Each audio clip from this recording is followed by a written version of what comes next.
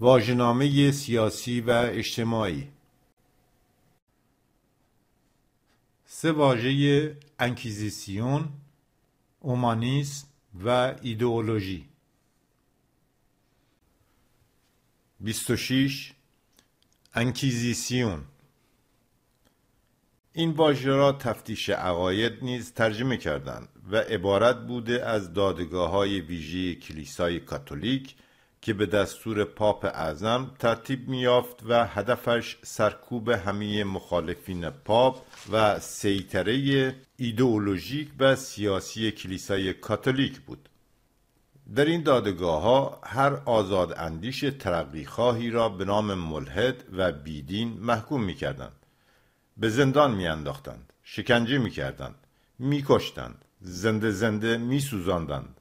این محاکم ظلمتبار حربی دستگاه جب و اختناق از قرن سیزدهم میلادی تشکیل شد و در تمام دوران قرون وسطا وسیله جابرانه و مدهوشی در دست کلیسای کاتولیک علیه همه مخالفین دوگمهای فرسودی کلیسا و نظام فئودالی بود.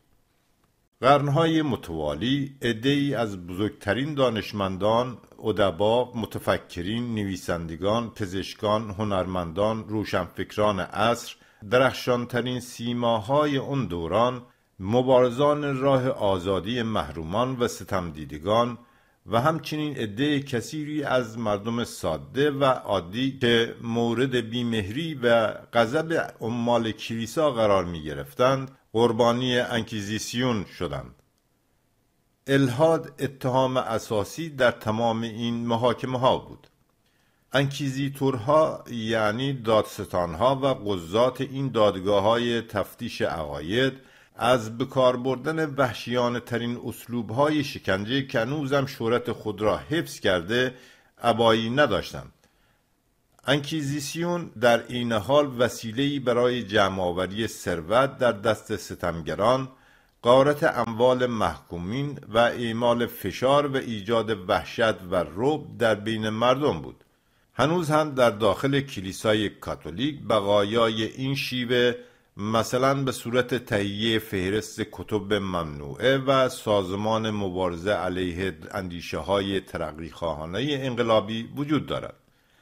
اگرچه از آخرین زنده سوزاندن دستگاه انکیزیسیون نزدیک به یک قرن و نیم میگذرد ولی روش انکیزیسیون محاکم فرمایشی و احکام جابرانه همچنان به بیداد خود علیه بهترین فرزندان خلق زحمتکش علیه آزادی خواهان ادامه می‌دهند. در میهن ما به حق دادگاه های دربسته نظامی و سازمان امنیت شاه مخلوع را به انکیزیسیون تشبیه می کردند. این نهادهای نظام شاهنشاهی همه کسانی را که با استبداد و شیوه های نوع استعماری مخالف بودند با اتهام بیوطن و اخلالگر و لامذهب درست نظیر اتهام الهاد در قرون وسطا دستگیر کرده شکنجه می‌دادند به پای چوبه اعدام فرستاده زندانی و تبعید می‌کردند. 27 اومانیسم. اومانیسم یعنی سیستم عقایدی که وجه مشخصه آن رواج انسان دوستی و علاقه به سعادت و نیکبختی بشر و احترام به شخصیت و مناعت انسانی است. از نظر تاریخی چنین سیستم تفکری در قرون 14 و 16 میلادی به مسابه یک نهضت اجتماعی و ادبی ظاهر شد که در عمل علیه ایدئولوژی فئودالی و قشریون مذهبی بود. این سیستم تفکر در آن زمان متعلق به گروه محدودی از روشنفکران بود که منعکس کننده مبارزه برجوازی رشد یابنده بودند. و می‌خواستند زنجیرهای اجتماعی و معنوی فئودالیسم را پاره کنند. روشنفکران و ماتریالیست های فرانسه در قرن هیجدهم برجسته ترین نمونه های طرز تفکر اومانیستی را عرضه داشتند. آنها بودند که شعار آزادی، برابری و برادری را اعلام کردند. ولی این شعارها در عمل و همزمان با تحول سرمایداری در چارچوب منافع بورژوازی محدود شد تا جایی که به آزادی استثمار منحصر گردید و بالاخره هم فاشیست و میلیتاریسم هیچ گونه اثری از آنها باقی نگذاشت. مفهوم اومانیست در آثار سوسیالیست های تخیلی نظیر سن سیمون، فوریه و اوون محتوای اجتماعی جدیدی یافت. این محتوا شامل القای استثمار و ستم و تکامل شخصیت فرد می‌شد. ولی اینها نیز به شناسایی قوانین عینی جامعه و نقش مبارزی طبقاتی توجهی نداشتند. اومانیسم آنها غیر فعال و پندارالود بود. مارکسیسم عالی ترین نوع اومانیسم انسان دوستی واقعی مبارز و فعال را عرضه داشت.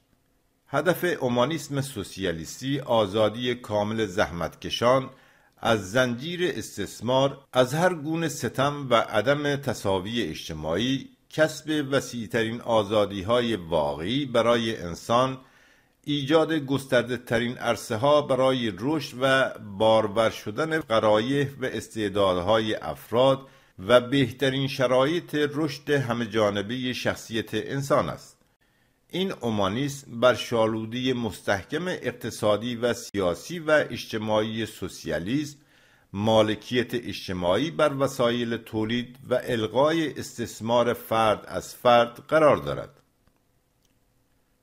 28 ایدئولوژی. ایدئولوژی عبارت است از سیستم نظریات و اندیشه های سیاسی، حقوقی، هنری، مذهبی، فلسفی و اخلاقی. ایدئولوژی بخشی است از روبنا و دارای خصلت طبقاتی است و بنابراین در آخرین تحلیل منعکس کننده مناسبات اقتصادی یعنی زیربنای جامعه است. در جامعه که به طبقات متخاصم تقسیم شده یکی از اشکال مبارزی طبقاتی پیکار ایدئولوژیک است. منافع طبقات ارتجایی و در حال نابودی حکم می کند که واقعیت نفش شود و حقیقت زیر پا گذاشته شود و به همین جهت ایدئولوژی این طبقات غیر حقیقی است. منعکس کننده واقعی حقایق نیست علمی نیست. برعکس منافع طبقات مترقی و انقلابی به ایجاد ایدئولوژی منعکس کننده واقعیت و علمی کمک می کند مارکسیسم لنینیسم آن ایدولوژی علمی و حقیقی است که بیانگر منافع طبقه کارگر و اکثریت عظیم توده زحمتکش و بشریت خواستار صلح و ترقی و آزادی است. در این اواخر فلاسفه بورژوا شایع می کنند که داشتن ایدئولوژی مقایر با برخورد علمی به مسائل و واقعیت است. آنها ایدئولوژی را امری ذهنی خالص بدون پایی عینی و نتیجه اندیشی مجرد گروه ها یا دسته های حزبی خاص دانسته و ادعا می کنند که باید فلسفه و علوم را از وجود هر نوع ایدئولوژی پاک کرد. آنچه که ایدئولوژی زدایی نام گرفته است. نتیجه چنین روشی جز آن نیست که به طور مصنوعی علم و فلسفه از مبارزی طبقاتی و از واقعیات اجتماعی جدا شود. هدف اصلی از این دعوی نفی ضرورت ایدولوژی مارکسیسم لنینیسم یعنی تنها ایدولوژی واقعا علمی است. تکامل ایدئولوژی اگرچه وابسته به مناسبات اقتصادی است ولی در عین حال دارای استقلال نسبی نیز هست. نمونه این استقلال نسبی را من جمله در این زمینه ها می‌بینیم. یک محتوای ایدولوژی را نمی‌توان بیواسطه و مستقیما با علل اقتصادی توضیح داد. دو رشد عامل اقتصادی و ایدولوژی همزمان و موازی نیست. سه بر تکامل ایدولوژی به مسابه سیستم نظریات و اندیشه ها یک دسته از عوامل که دارای ماهیت غیر اقتصادی هستند نیز تأثیر می‌گذارند. از این قبیل است تأثیر اشکال مختلف ایدولوژی یکی بر دیگری و نقش شخصی این یا آن اندیشه پرداز ایدئولوگ و غیره.